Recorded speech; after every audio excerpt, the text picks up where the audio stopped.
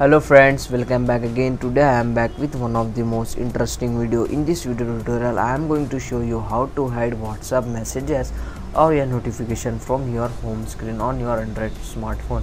Uh, you want to hide some personal messages your notification from your notification bar in a smartphone so you can do it. For this you don't need to download any extra application from google play store. I am going to show you in inbuilt feature so follow my step. Go to your phone settings. In the phone settings go to apps application manager and here go to all apps and find out your whatsapp application from here. You can see whatsapp is here. So just tap on that and you can see show, no show notification op option.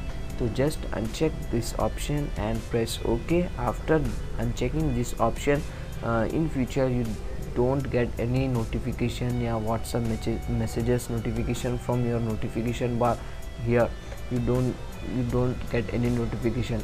So if you you want to unhide so just go to settings app application manager find up whatsapp and just check show notification option. Uh, afterwards you get all messages of notification yeah from your whatsapp. This is very easy and simple step to hide uh, notification of yeah whatsapp messages from your notification bar in smartphone. Hope you enjoy my video. Please like share and subscribe. Till you have not subscribed my channel please subscribe my channel for daily updates. Thank you for watching